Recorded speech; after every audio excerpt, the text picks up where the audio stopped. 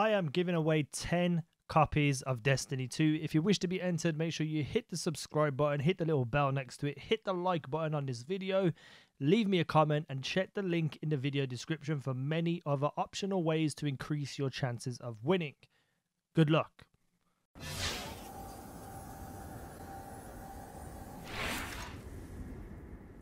Welcome back Guardians to a Destiny 2 video. Quick little video to show you guys mods, weapon mods, armor mods, shaders, ship shaders, everything and above. So if you're excited for Destiny 2, hit that like button on this video, subscribe if you're new, all that great stuff. Let's get into it. So as a Titan, I got the sweet business exotic auto rifle, which can take a quick look at it. Look at how badass it is. It's awesome. It's pretty damn cool. Look at it. Um, and I'm going to do like a full review on these weapons, you know, in the next couple of days. So keep an eye out for them. So let's just go and take a quick look over here at the weapon, the Deathstalker 4AU. This is an auto rifle. Feels very much like an SMG to me, but it's a pretty awesome weapon. So let's have a look at mods and such things that are down here. So for instance, because this is a secondary weapon, or at least it's in the secondary slot, I can have a solar damage mod, which means that, you know, this mod section is going to be for, you know, elemental damages, maybe something else as well that we don't know so far.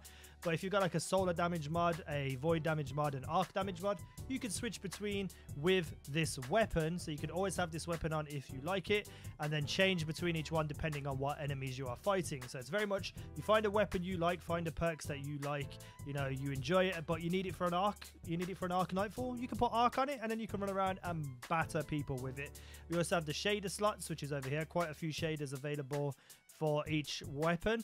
Um, the legendary infusion is just so that you can infuse items, but there is more here. So what it looks like is that you get three separate weapon mods. One of them is the shader slot, and then the other two you can switch between you know, all the different things that will be available in the full game. So let's have a quick look right here at this intrinsic perk, Rapid Fire Frame, deeper ammo reserves, slightly faster reload when magazine is empty.